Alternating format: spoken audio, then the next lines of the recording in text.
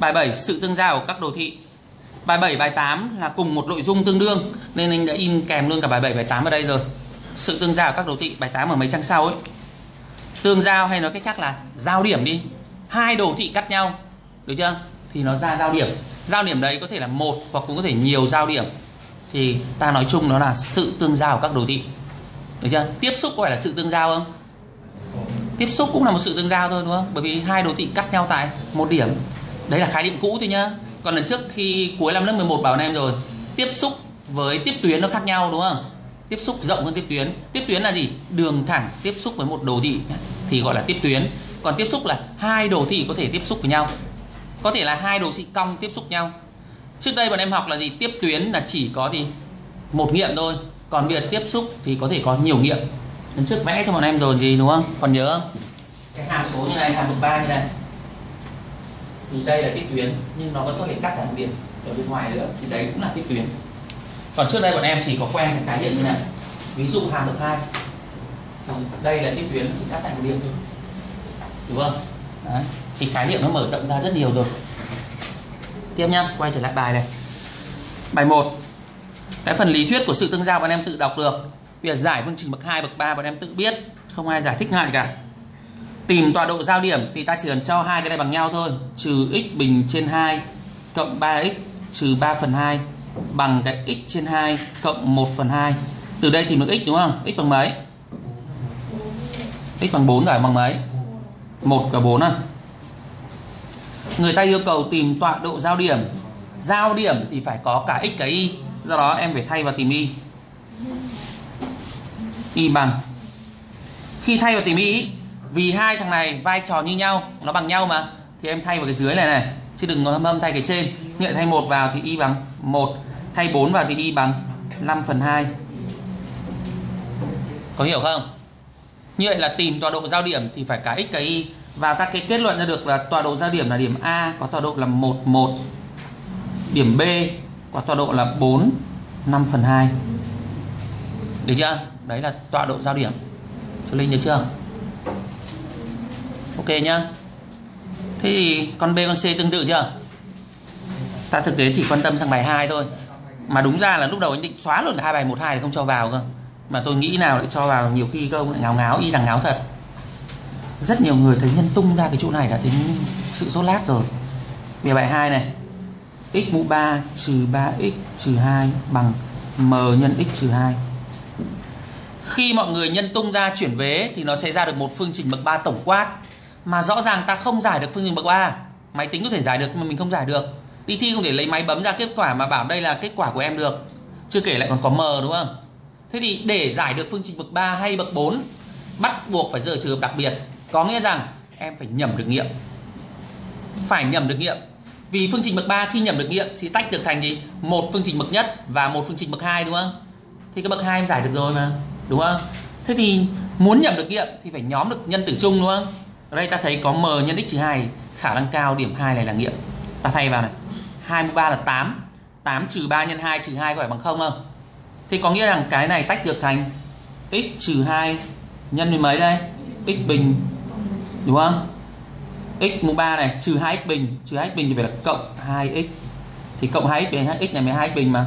Được chưa? Trừ 4x mà muốn mất trừ 4x thì phải là gì? Trừ tiếp gì? Là 10 tách chỗ này ra. Đây nhá.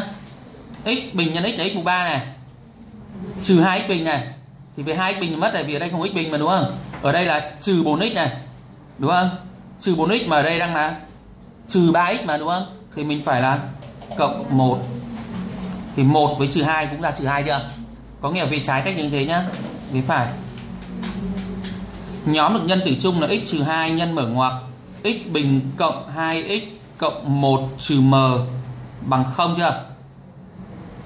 Đây có phải phương trình tích không? Phương trình này chắc chắn có nghiệm x bằng 2 và một cái phương trình bậc 2 cộng 1 trừ m bằng 0.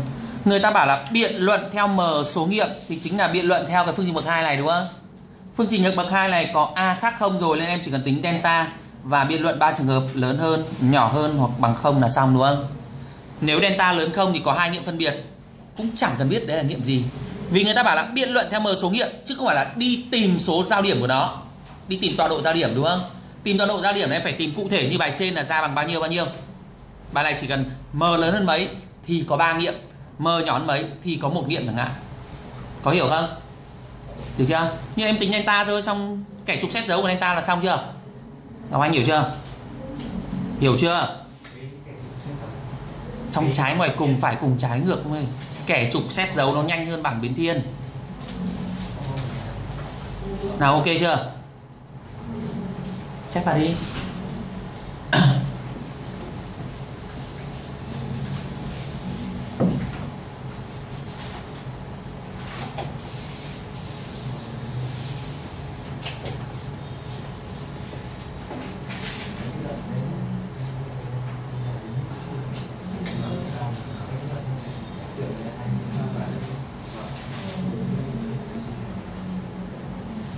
hiểu không?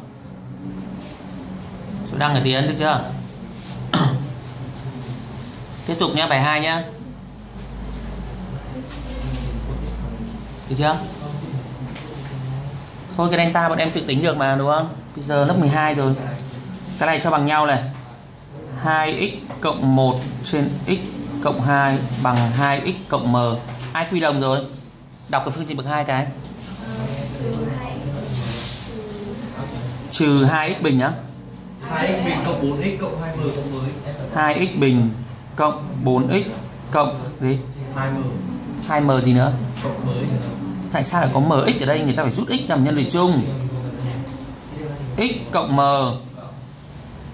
Đóng ở ngoặc nhân 4 4x cộng mấy m? Cộng cộng 4x cộng 2m à? À cộng mx gì thì? Rút x ra ngoài là 4 cộng m đóng ở ngoặc nhân x cộng với 2m bằng 0 như này, đúng không? Ra phương trình bậc 2 chưa? Thế thì bây giờ em phải đi biện luận các trường hợp thôi. Tính delta này. 4 cộng m, tất cả bình trừ đi 16m đúng không? Bằng gì? m bình cộng với 8m là trừ 8m cộng 16 đúng không? Được chưa? Bây giờ bắt đầu delta lớn không có hai nghiệm nhòn không thì đi vô nghiệm còn bằng không thì có một nghiệm đúng không? Nào dưới hiểu không? Chép về đây đi. Nhiều người nhiệt tình chép thế chắc cũng chẳng làm.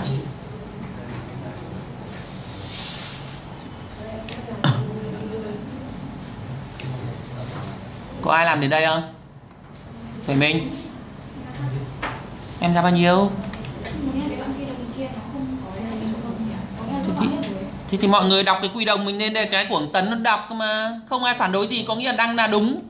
Còn nếu ai thấy khác phải phản đối để kiểm tra chứ. Nó đọc kết quả chẳng ai nói câu gì. Thế có nghĩa là mặc định đang mọi người công nhận kết quả nó đúng hoặc là chẳng ai tính. Quy đồng chủ ý em thế thôi còn gì nữa? Bây giờ tôi tính cả delta rồi bắt đầu mới bảo anh ra khác các người khác thì ngồi im. Là thì là mặc định bây giờ tôi lấy cái này đúng vì tôi tính delta rồi không viết lại hồi học mọi người cái trách nhiệm chứ, có nhiều người chẳng tính gì cả. Thế là cứ nghe cái theo kết quả của bạn à. Bây giờ ta phải chia trường hợp. Thứ nhất delta nhỏ hơn không? Vô nghiệm. Đã vô nghiệm rồi thì không cần quan tâm. Nhưng trường hợp có nghiệm, Khẳng định mọi người làm sai ở chỗ. Nếu delta lớn không? Suy ra có hai nghiệm, đúng không? Chắc chắn kết luận như này bị sai. Vì mọi người không xét điều kiện là x khác trừ 2 Thế nhớ may hai nghiệm này lại là nghiệm bằng trừ 2 sao? Đúng không? Delta này lớn không thì phương trình này có hai nghiệm, phương trình này có hai nghiệm nhưng một trong hai nghiệm đấy là trừ 2 sao? Thì nghiệm trừ 2 phải bỏ đúng không? Thế thì mọi người phải xem cái vai trò trừ 2 trong cái phương trình bậc 2 này như nào chứ. Như vậy để có hai nghiệm này thì phải là gì? F trừ 2 khác không. Điều kiện này mới khẳng định là có hai nghiệm. Bởi vì nếu F trừ 2 bằng 0 thì lại thành có một nghiệm thôi đúng không? Đúng chưa? Tương tự thế, viết đây nhá delta bằng 0 thì suy ra có một nghiệm đúng không? Thì phải là f trừ 2 khác không tiếp thì có một nghiệm. Đúng không? Hết trường hợp chưa? Hết trường hợp chưa? Phần lớn là mọi người không để ý cái điều kiện này mà điều kiện này nó mới phức tạp này. Chứ còn delta dương, delta âm, delta bằng 0 thì dễ quá. Hết trường hợp chưa? còn một trường hợp nữa ai nghĩ ra được vô nghiệm rồi, hai nghiệm rồi, một nghiệm rồi, còn một trường hợp nữa. Ai nghĩ ra được? Gì? Bằng không cái gì bằng không? Delta bằng không đây rồi. Đây, delta bằng không đây. Còn một trường hợp nữa ai nghĩ ra? Trường hợp này có một nghiệm. Ai nghĩ ra? Vừa nói xong. Bằng không trả lời nghiệm kép. Một trường hợp nữa là gì? Delta lớn không? Nhưng mà f trừ 2 bằng không thì cái nghiệm trừ 2 là phải loại, đúng không? Thế thì chỗ này vẫn là chỉ có một nghiệm thôi, đúng không? Delta lớn không là lấy được hai nghiệm x. Nhưng trong hai nghiệm x này có một nghiệm là trừ 2 thì lại không thuộc tập xác định nhưng phải loại đi thì tóm lại chỉ còn lấy được một nghiệm thôi, đúng không? Như vậy, cái trường hợp có một nghiệm ấy là phải có hai trường hợp nhỏ. Được chưa? Đấy. bài nó lắc léo này nhiều trường hợp này mọi người không nghĩ ra được thì làm sao các bài khó hơn làm ra được? Nào, chép vào đi ở dưới. Còn đấy, cái delta ở trên đúng hay sai thì theo phương trình này tự phải kiểm tra. Đức Anh không hiểu hỏi anh Hưng nhá. Chép xong chưa? Chị hiểu chưa?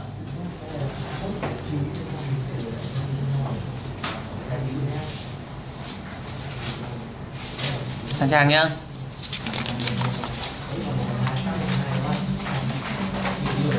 Tương tự này.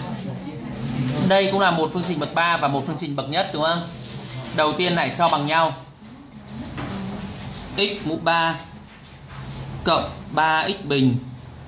Chuyển chữ x sang là cộng x, nhóm ra ngoài là cộng với m cộng 1 nhân x cộng với 2m trừ 2 bằng 0 Đúng chưa? Em phải nhầm được một nghiệm thì mới giải được tiếp nhập được một nghiệm thì giống bài trước mà đúng không? Lại tách được thành cái bậc nhất, bậc hai chưa? Bây giờ ta nhập nghiệm mấy? Nhẩm đến nghiệm 2 đi À trừ 2, nhẩm nghiệm trừ 2 Tại sao nhẩm trừ 2? Mọi người nhìn ở đây có 2m Muốn nó bằng không thì phải mất được m đúng không? Mà đây là mx thì khả năng x phải bằng trừ 2 thì trừ 2m với 2m mới mất được đúng không? Hiện ta nhẩm trừ 2 này Đây là mấy? Trừ 8 Trừ 8 Đây là 12 thì còn 4 đúng không? 4 trừ 2 còn 2 Mà đây trừ 2 với 1 thì vẫn là trừ 2 là mất chưa? Đúng không? Có hiểu không? Em thấy bằng trừ 2 vào thì nó bằng không chưa? Như vậy, nghiệm là trừ 2 Ok nhá Khi biết nghiệm là trừ 2 rồi Thì ta sẽ rút được nhân tử chung là x cộng 2 nhân mở ngoặc Vì nghiệm là trừ 2 mà Thì phải là x cộng 2 bằng 0 đúng không? Đúng chưa? Thì nhóm nó x cộng 2 ra chưa? Ai không biết thì phải dựng cột chia đa thức Hoặc là chia hóc le Còn ai khá hơn thì chia thẳng đi. X mũ 3 chia x thì đây là được x bình. X bình là 2x bình 2x bình mà đây 3x bình phải cộng x x bình. Được chưa? 2x mà đây lại là m cộng 1x thì phải là mấy? Số mấy nhân với 2x chắc chắn phải có m đi kèm nào, số mấy? Cộng với m trừ 1 được không? Cộng m trừ 1 nhá thành 2m à, mx trừ x nhân cộng với 2x trở thành mx cộng 1 không? 2m trừ 2 thì đúng 2m trừ 2 chưa? Như vậy là cộng với m trừ 1 còn không nhẩm được thì dựng cột lên mà chia. Được chưa? Mà chia ra thức là dạy ở cái phần mà y chia y phẩy là phần dư rồi đúng không? Đường thẳng qua cực trị đúng chưa? Ok nhá. Thế bây giờ dễ chưa? Một nghiệm x bằng trừ 2 một cái nữa là x bình cộng x cộng m trừ 1 bằng 0 đến đây thì delta chia 3 trường hợp. Vì nó không có tập xác định nên cứ thế mà làm. Hiểu chưa? Viết đi. Trang không viết vào tờ giấy đấy thì linh viết vào tờ này, này. buổi sau phát cho trang tờ khác. Hay cả ba đều thích viết ở vở? Viết thôi thì bỏ đi để lần sau in nó xóa mấy dòng đấy cho đỡ tồn giấy. Nào, hiểu chưa? Hà hiểu không? Mấy thanh niên bên này hiểu chưa? Hiểu rồi, chuyển nhanh nhá. Còn cái này này, chỗ trống này về tự mà xử lý thôi, đúng không? Tự túc là hạnh phúc mà. Cắt trục hoành. Trục hoành có đặc điểm gì? Bậy. Trục hoành đặc điểm gì? Mọi điểm nằm trên trục hoành đều có tung độ bằng không chứ là y bằng không, đúng không? Có nghĩa là cho thẳng thằng này bằng không luôn, đúng không? Nó giống con trên thôi mà. Đúng không? Chẳng qua nó cho luôn này bằng không. Mx mũ 3 cộng 3mx bình trừ 1 trừ 2m x trừ 1 bằng 0 vấn đề là mọi người có nhẩm ra được nghiệm x bằng mấy không nữa là quan trọng. Nhẩm được không?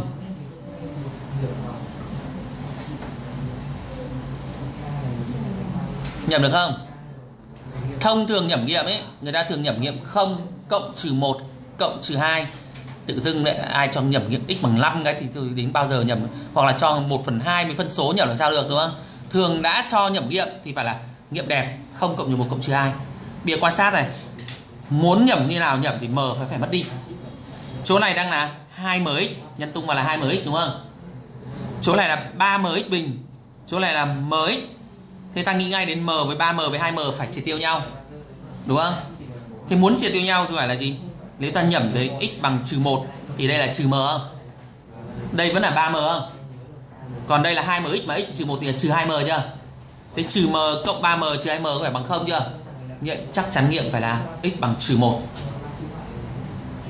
đúng không? Em thay x vào nó phải bằng không mà. Thì muốn bằng không thì phải mất được m gì đúng không? Đúng chưa? Còn nếu không tư duy được thì cứ lấy một và thay vào, không ra lấy trừ một thay vào, lấy trừ hai hai thay vào. Còn nào bằng không thì đúng.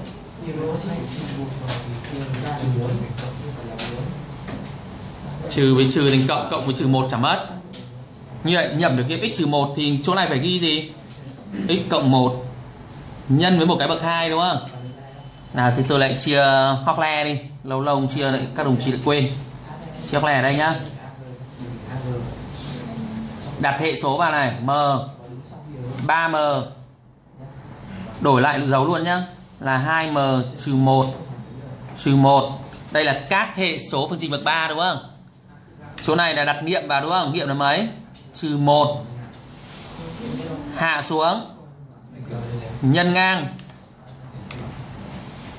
Cộng chéo. Trừ m cộng 3m là 2m đúng không? Nhân ngang. Cộng chéo trừ 2m cộng 2m trừ 1 thì có phải là trừ 1 không? Nhân ngang cộng chéo. Trừ 1 nhân trừ 1 là 1 1 cộng trừ 1 bằng 0 đúng không? Số cuối bằng 0 thì mới đúng. Được chưa? Thế đây chính là hệ số của phương trình bậc 2 chưa? Ta được mx bình cộng 2mx trừ 1 bằng 0 thế thì nghiệm lại là trừ 1 và mx bình cộng 2mx trừ 1 bằng 0 lại đi tính delta, đúng không? Đúng chưa? Đấy. như vậy là đã người ta đã gọi là kiến thức cơ bản rồi thì mình cố mà nhớ, chứ không phải lúc nào cũng đi nhắc lại. Đúng chưa? Thì bây giờ cứ chia đa thức mà cứ nhắc mãi à? Dạy một lần đấy chứ. Ăn chơi chẳng thấy ai phải nhắc. Tự biết đường ăn, tự biết đường chơi. Đi chơi về đói ăn. Đúng không? Học thì cứ nói liên tục. Chép như chép chính tả nhà quang linh nhìn từng chữ một ngẩng lên nhìn trọng ngẩng xuống nhìn. Người ta nhìn một lần phương pháp cho mình tự phải viết lại được thì mới học. Họ ngồi chép không sai chữ nào. Không phải thật có gì được vẽ có cái mũi tên vẽ giống hệt. Không sai một lét người ta gọi là sao nguyên bản chính mà.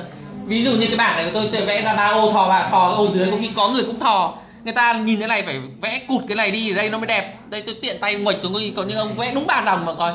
Nhìn lại xem xem, khẳng định luôn thì nào có người thế. Đây gọi sao nguyên bản chính mà. Đúng không? Nào, chị Tề Minh có vẽ gì không? Thằng Ngọc Hải. Đâu gì trông nó gian gian, giống nghi lắm. Chị chi sao xấu hơn à? Được chưa? Delta chưa đủ. Delta chưa đủ vì sao? Vì sao? Delta dương delta âm delta bằng không chưa đủ. Vì sao? Một câu thôi. Ai hiểu? Nhanh. M khác không? Chính xác. Vì ở hệ số trước x bình có m. Nếu m bằng không thì nó ra gì? Ra phương trình bậc nhất. Mà bậc nhất làm gì có delta? Đúng không? Như vậy cứ phương trình bậc 2 mà có hệ số m ở chỗ a hệ số a có m ấy, thì phải là chia trường hợp là m bằng không m khác không đúng không? Mà những cái này thì bọn em đều học ở gì? Ở lớp 10 rồi. Giải và biện luận phương trình bậc nhất, giải và biện luận phương trình bậc 2 đúng không như vậy ở đây phải có thêm điều kiện là m bằng 0 hoặc m khác không. Đấy, phải chia trường hợp ra. M bằng 0 m khác không. Được chưa?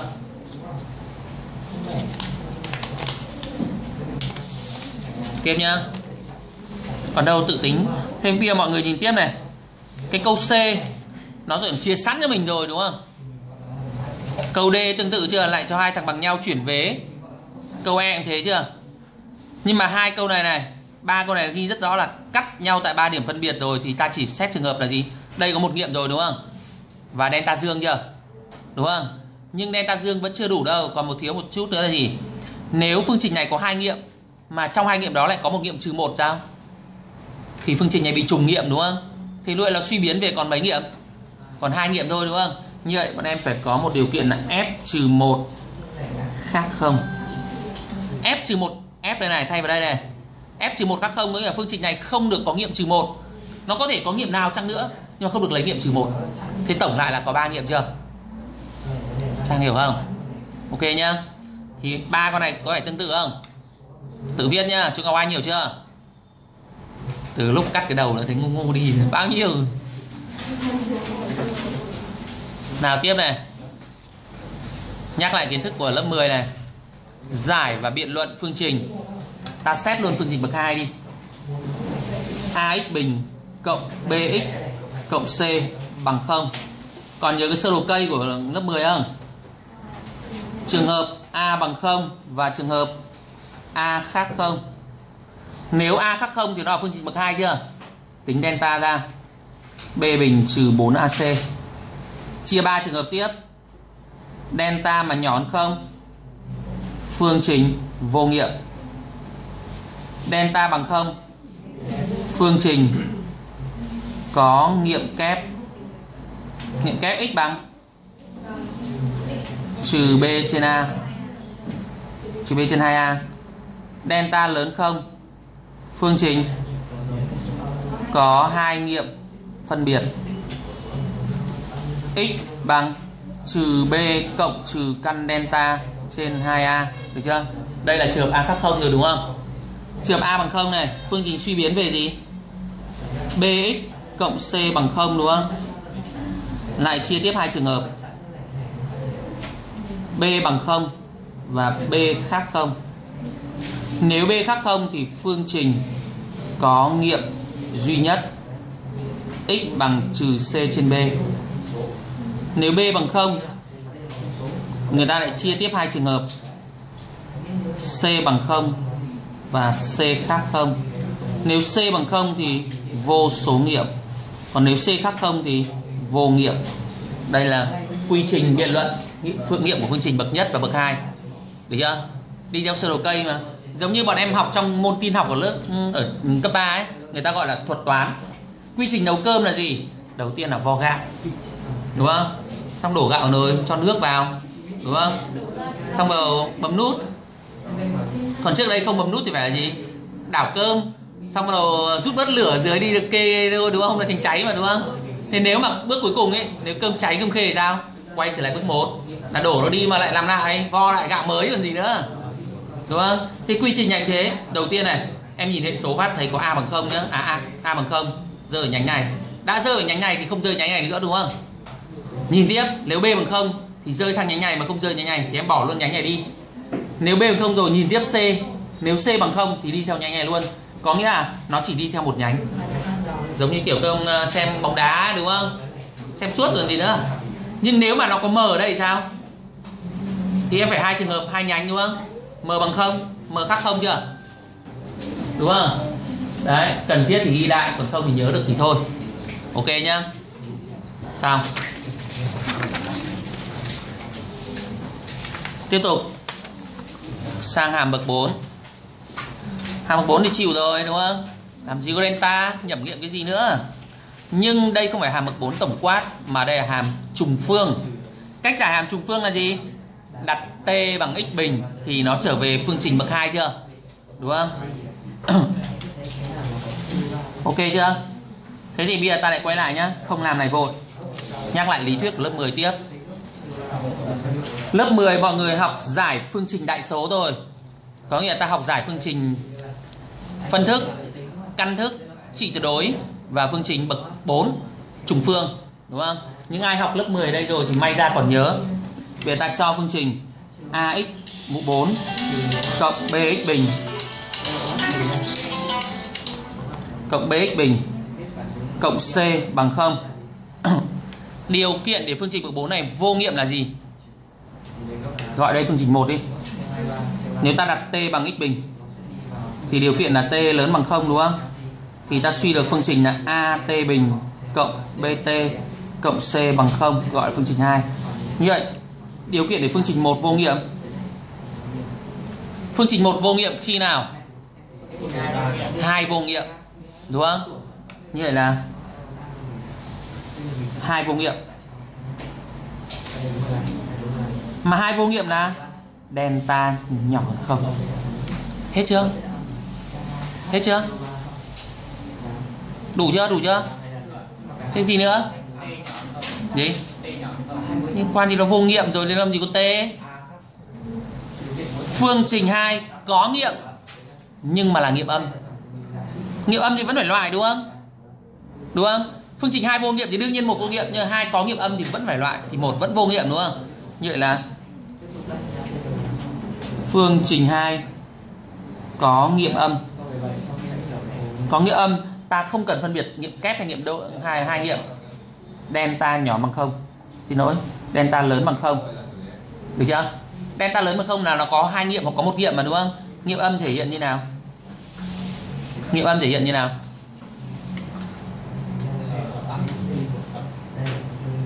Hai nghiệm âm thể hiện như nào?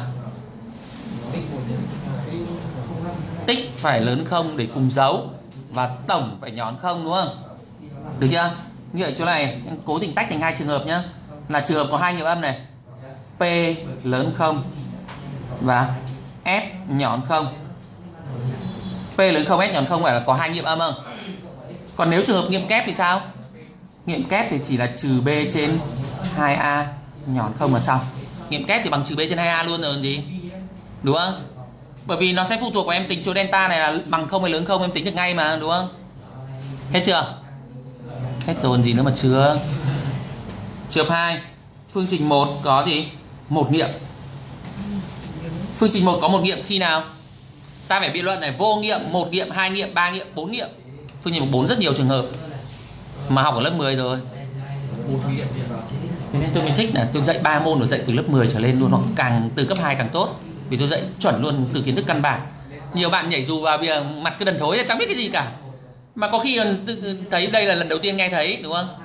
Chẳng bao giờ thấy giáo viên nhắc, có gì đọc hộ cái?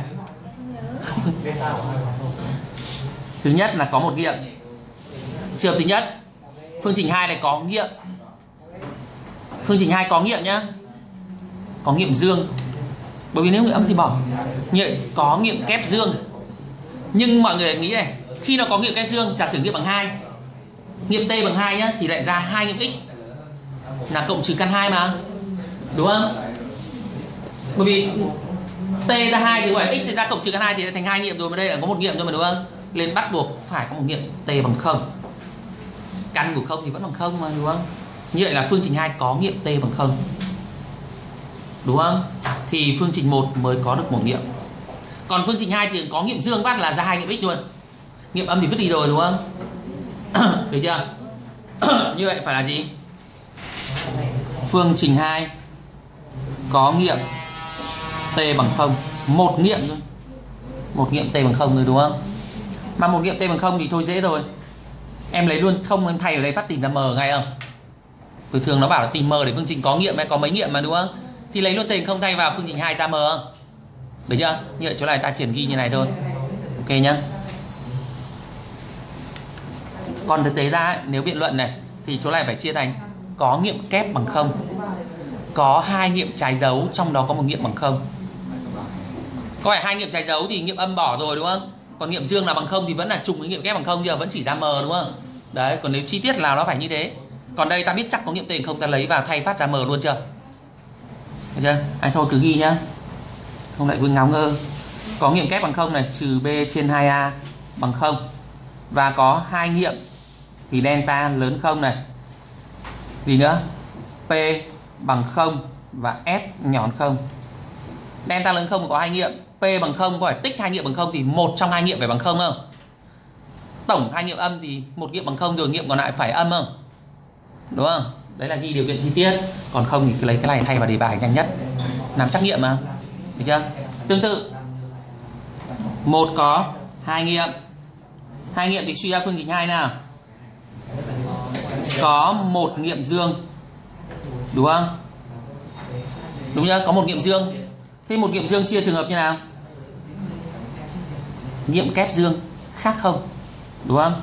Như vậy là trừ b trên 2a lớn không? Delta bằng không? Thêm điều kiện delta bằng không đây cho chắc. Một trường nữa là gì? Có hai nghiệm trái dấu. Hai nghiệm trái dấu thì một nghiệm âm thì bỏ đi rồi, đúng không? Và một nghiệm kia phải là nghiệm dương gì đúng chưa? Thì ta có thể ghi luôn ở giống như trên kia là delta lớn không? P gì p nhỏ không? Và s thế nào? S nào s không có. Vậy chẳng cần vì p nhỏ không là hai nghiệm trái dấu rồi mà. Đúng không? Chỉ cần cái này thôi. Hoặc, mọi người ghi luôn là a nhân c nhỏ không. Hai nghiệm trái dấu là xong, đúng không? Tương tự trường hợp. Ba nghiệm. Thì phương trình 2 phải thế nào? Có hai nghiệm. Được chưa? Dương nhưng một trong hai nghiệm phải bằng không.